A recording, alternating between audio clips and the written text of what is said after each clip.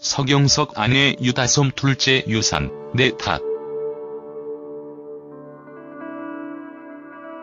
서경석 아내 유다솜이 유산 경험을 고백하며 눈물을 보였다. 17일 첫 방송된 SBS 예능 프로그램 싱글 와이프에서는 서경석보다 13살 어린 아내 유다솜이 출연했다. 유다솜은 결혼과 동시에 꿈을 포기한 경력단절녀지만 예술적인 파리지행을 꿈꾸는 미술학도다. 이날 유다솜은 남편과의 세대 차이에 대해 크게는 못 느끼지만 가끔 다툴 때 남편이 너무 보수적인가?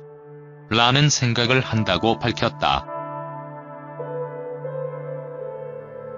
유다솜은 사회에 나오자마자 결혼해 회사를 나오면서 경력이 단절됐다고 말했다. 그는 조금 더 사회생활을 하고 결혼을 했으면 당당하지 않았을까?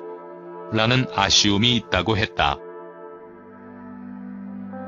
공부에 대한 부족함을 항상 느꼈던 유다솜은 현재 대학원에 진학해 공부하고 있다. 유다솜은 이러한 상황에 대해 저는 굉장히 시어머니 좋아하고 어머니도 좋아하시는데 둘째를 기다리는 시어머니에게 제가 점수를 많이 깎아먹고 있다고 말했다. 유다솜은 둘째 계획을 묻자 한참 동안 말을 잇지 못했다.